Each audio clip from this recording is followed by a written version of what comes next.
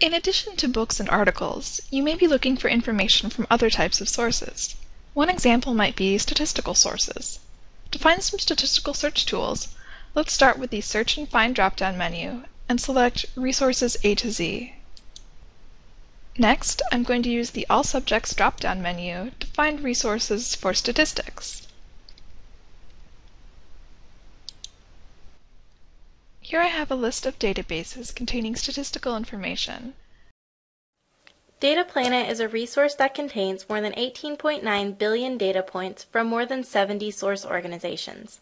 This resource can be used to find and analyze key economic indicators, data on education, crime, housing, employment, income, and more. Data Planet also includes some international statistics. There are several ways to make a data selection. I can either select data from the left side of the page by drilling down until I find what I'm looking for, or I can use the search box at the top of the page to search for something specific. For example, I'm interested in the International Consumer Price Index. If I do a search, I will see a result from the OECD. I know that this organization collects international data, so I'm going to click that first option. A graph of the data appears in the center of the page. Below the graph, I find a description of the OECD and of the data set. There is also an automatically generated citation. If you use this citation, make sure to change it so that it is a correctly formatted APA style citation. Along the top of the graph, I can modify the dates if I need to.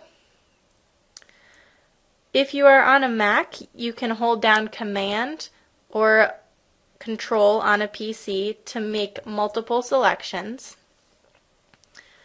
I can change which countries are displayed by clicking the checkbox and then selecting the individual countries I want to find information on.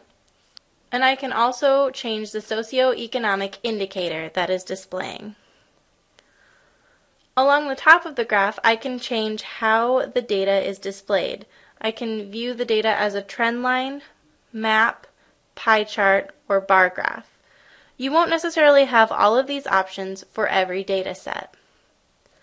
I can also click Rank By to change the X and Y axes. Please note that anytime I make a new selection, my data selections at the top will reset and I'll need to make sure that the correct date, countries, and indicators are selected again. If I click Show Data, the raw data will be presented on the right side of the graph.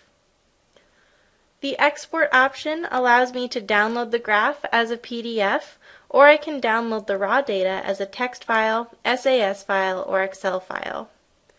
If I click the green arrows, I can view the graph in full screen mode.